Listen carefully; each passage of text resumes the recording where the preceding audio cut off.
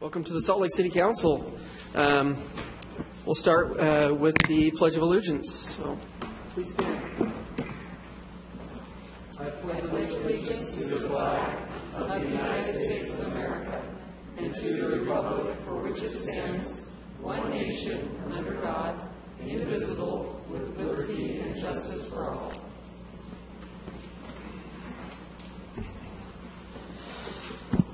All right. I'm looking for approval of the minutes for December 8th, 2015, and Tuesday, January 5th, 2016. So moved. Second? It's, been- motion's been made and second. Uh, All those in favor? Aye. Aye. Okay, we're moving on to item number four. Um, I'm actually going to look for a motion to convene as the Board of Directors. This is your deal, Stan. I move that the council um, recess as the Salt Lake City Council and reconvene as the Board of Directors of the local building authority.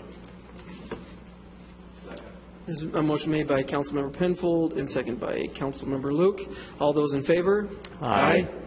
We have now convened as the Board of Directors of the Local Building Authority.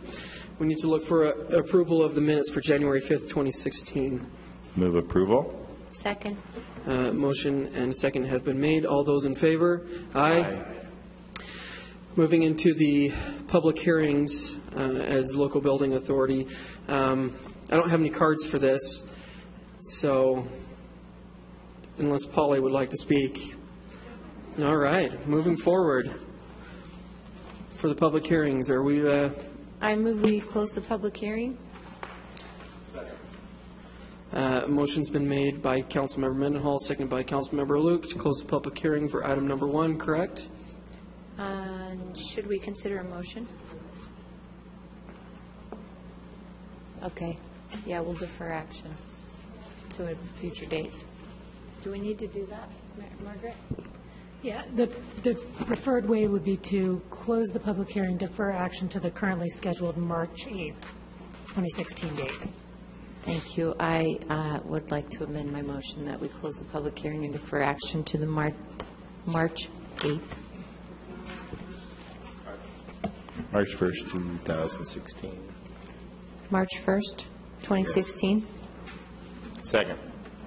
Uh, Motion's been made by Councilmember Mendenhall, second by Councilmember Penfold to close the public hearing and refer action to a later date.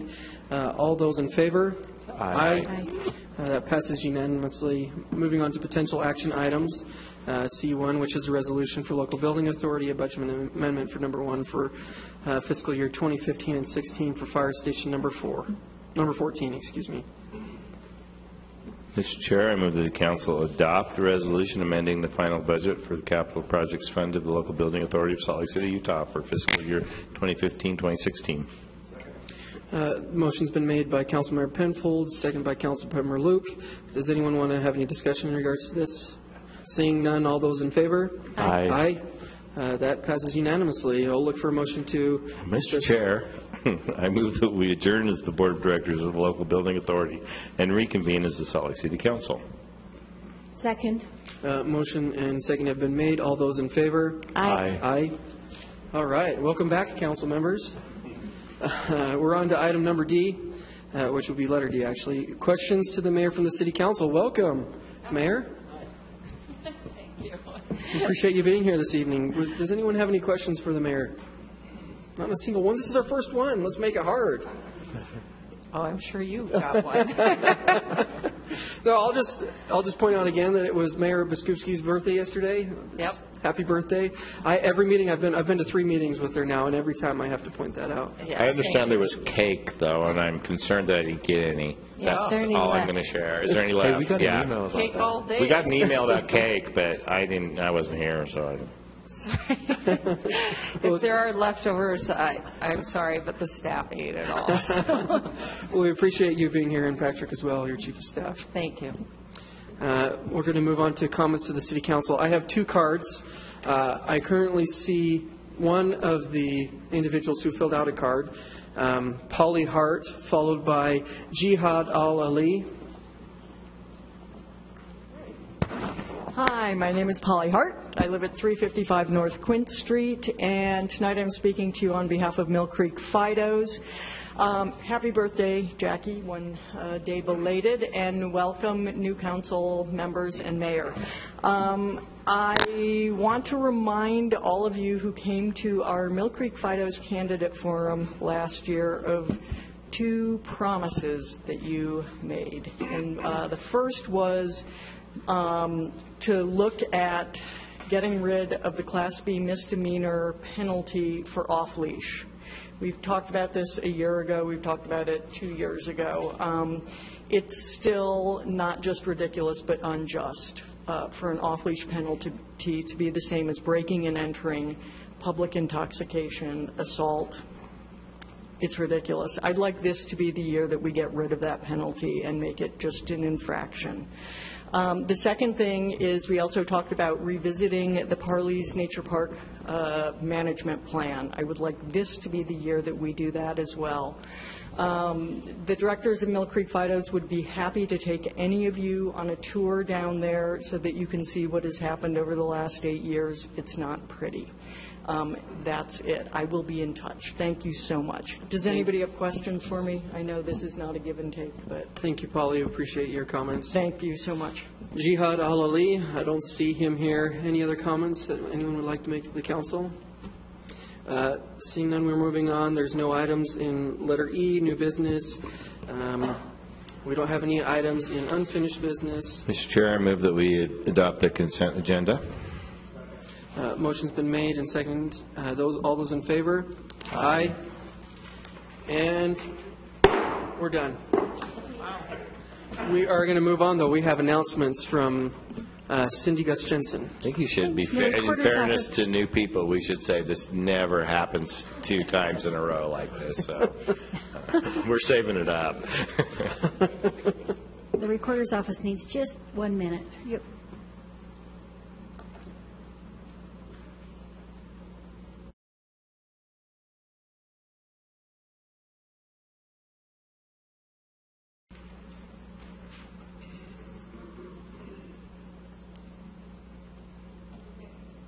Okay, thank you. Sorry, everybody.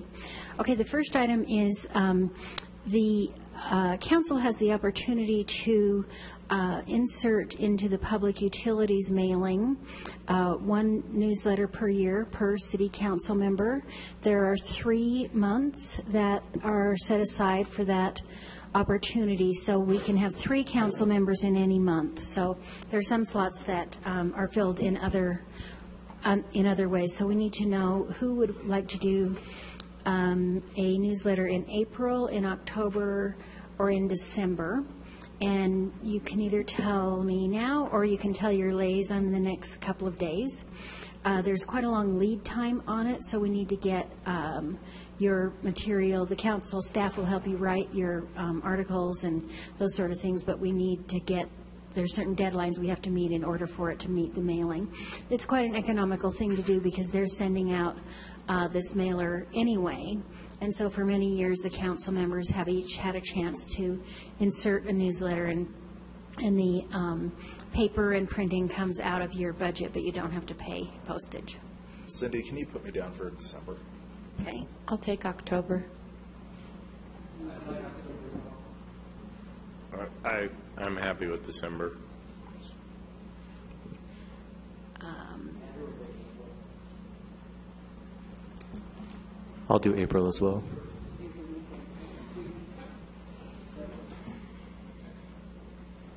Okay, let me see if I have this, okay? In April, we have Andrew, Derek, and Lisa. In October, we have Erin and James, and in December, we have Charlie and Stan. Stan, were you December? December. Okay. Okay, thank you very much.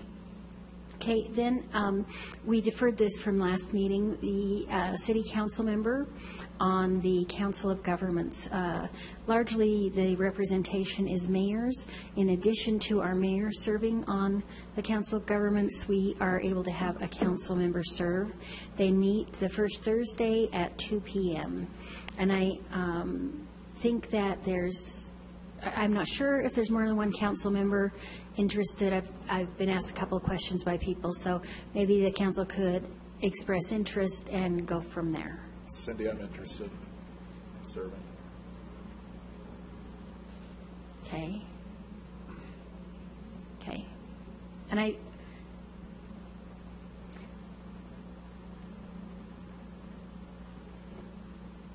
okay. I had a note that James was interested, but are you interested in COG? Okay. I didn't know if that note related to this or something else. Okay. So we have two people who are interested, Councilmember Charlie Luke and uh, Councilmember uh, James Rogers. So um, you two need to, you- either the group can vote, or you can flip a coin, or, Yeah, you'd, you'd, you'd, you'd beat me at swimming. You sure? Okay. okay. All right. And then we also have something else. Um, We need to designate uh, voting members on the Utah League Policy Committee. All council members, all mayors from all cities in the state are invited to attend. Uh, Just as a technicality, uh, there are three voting members from Salt Lake City. One, of course, is the mayor, and traditionally, we have been allowed to have two council members. Um, But they're all voice votes, and it's never really mattered much. So we... These are votes during the legislative During session. the, um, during the, there's a policy committee that meets throughout the year, and they meet during the session on uh, Mondays, I believe at noon, and it's every Monday. So we need to know who is interested in that. I've done it in, over the past two years, and I, um, I think I was the only council member that actually went. Charlie was up there, but he was doing other work. Um, and I won't be able to do it this year, but it's, uh, it's So really a, if- a voice vote. If it's okay with council, I'd love to do it, and if Charlie's up there too, we could do it together. That's good. Great. Okay, no objection, okay. All right, and then the next item we have is the retreat start time. Where are we with? 5:30 a.m. Is that traditionally what we do? Some terrible early hour. You're up. So you have, uh, you have the breakfast that's at uh, 7:30, and then there's some discussion of doing it uh, at 11 or 11:30, and then there was other discussion of doing it right afterwards. So I think we ought to do it, if we're already meeting, I'd rather do it right after and be done earlier. And i- i- if that's the case, I move that uh, we move the council photo to February 2nd, I think would be the date. Because there were requests made that people don't want to dress up really to come to the, to the, uh, the retreat. So, Well, Derek and I both have a hair appointment for it, so we want to make sure our hair looks good for the photo. so if the rest of the council is okay with postponing that, that actually gives us all a little time to look good. Can you reschedule that? Because I know sometimes that's an issue depending on your, Oh, my heck, okay. So, I am too. So what time does this retreat start? Right after the legislative breakfast? Yeah, I'm good with moving it to right after the legislative Where breakfast. is the retreat being held? It's going to be held at the Utah Opera Building on Fourth West and like 335 North. Oh, we're going off campus. At, it's at Gallivan again? And we weren't able to schedule both at the same location. Gallivan was booked in the afternoon. Otherwise, we would have done it right after. Yeah. So we're talking about a minimum break, like an hour or 30 minutes or? Yeah, yeah. Uh, So nine, let's see, nine, probably 9:30 or 10? I don't know, what do you want to say? I would appreciate a minute or I'll be late to the retreat. Okay. You'd re- appreciate 10? A minute, A more minute. than 30 minutes to Okay. get from Gallivan over there and get situated. Okay. 45 minutes would even be helpful. Okay.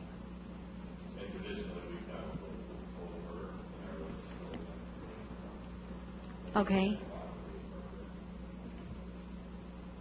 Okay, so I'm hearing I want to just be 10 as accommodating as possible. So if Erin says 45 minutes, let's do it 45 minutes after the legislative Okay. breakfast. Well, so we'll set it for, um, we'll figure out a time that's flexible to put on the agenda so that it'll start at such and such time or immediate, as soon as, Yeah. Or 45 minutes after we finish. yes, okay.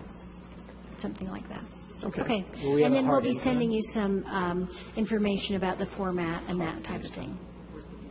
Okay, that's Five hours? it. So I can plan Oh, there's still a question. Oh. Okay. Was that a question? No, I understand that you tradition, you- you've been asked to reopen the formal meeting, but that's usually not uh, permissible in a, in a legal situation. This is an unusual situation because you've gone from formal meeting, you've closed it, you've moved back into work session. Um, You wouldn't normally reopen public meeting. Everybody, no one has left thinking that you ended. Someone is here who wanted to comment. At a minimum, you would need to switch back to the other recorder to get the comments back on the right agenda. It's a little bit awkward either way. I think it's sort of at your discretion. Um, But it- it's not your usual practice um, to reopen after you've adjourned. But can I ask Margaret to, uh, clarification? In order to get it as part of the official record, we'd have to go back. I think you would have to go back, the recorder would need to switch We back. couldn't do it because we're as in a different courtesy as system. part of the briefing session because of the recording system. Because of the recording system, you don't have public comments on your work session Right. agenda either, so I think that's a really bad It would precedent and be- not fair to the yeah, public. you're right. yeah. You know, I think we should reopen it, so Jihad Al-Ali has something to say. We give him his two minutes. And, I- and just so you're aware, we have had a lot of people in the past who have come later and not had the opportunity to speak because they missed the public comment period, but We don't typically have a 10-minute formal meeting either, though. Mm-hmm.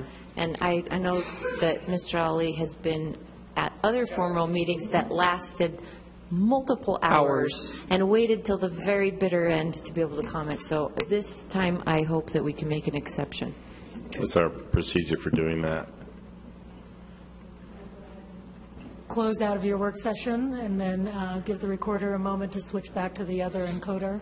Do we need a motion or anything? I mean, we're in a work session, so we really can't make a motion to do Right, you it. don't need a motion to close that. It's just So- up to the chair, right? So you- all you need to do is just reconvene the meeting. Yeah, I, I think we should reopen it, so Jihad has his, he's been here several times and waited, like Erin said, but uh, it's not a normal procedure. Just hope you know, Jihad, that we are going to, uh, some serious uh, situation here so that you have time to speak. And it hope sounds that- like the recorder's ready, so. Well, I, I just want you to understand that and recognize, Jihad, I, I want you to recognize that we're going. We started at seven. That's right. But Jihad, I just want you to know that we're we're going through some extra. Well, next week, next time I'm gonna come here with you and I'm gonna respond to this. I promise you, okay? I was gonna welcome you. We're, Jihad, we're making, we're making, See how much class they got. stop, wait, oh. So I Jihad, wait, Jihad, Jihad, Mr. Ali, Mr. Ali, Mr. Ali, wait, hang on here until we, Mr. You're misunderstanding. Mr. Lee,